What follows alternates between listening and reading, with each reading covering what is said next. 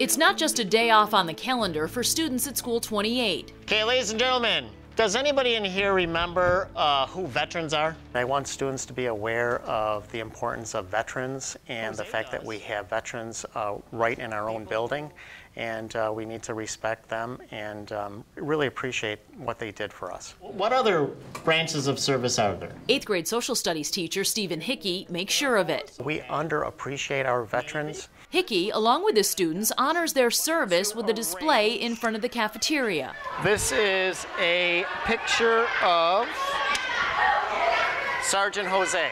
We have, uh, I believe, six different uh, Air Force veterans. We have two Army veterans. We have a number of Marine veterans. The kids organized the display and learned a lesson in the process. We basically asked the students if they have veterans in their own family and many students do. And we've actually asked kids to bring in any of artifacts or any uh, items they have in their own family. Funeral flag for Ms. Mignot's father, yep. We have helmets, we have uh, uniforms, we have military IDs, flags.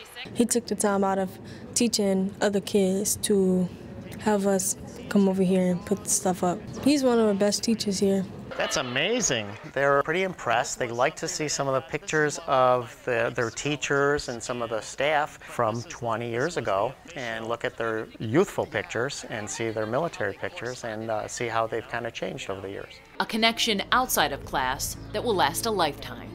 It's important to me and it's important for my students to know that we have veterans that served right here in the building and um, if they're interested uh, in their service and their experiences, then they can talk to them.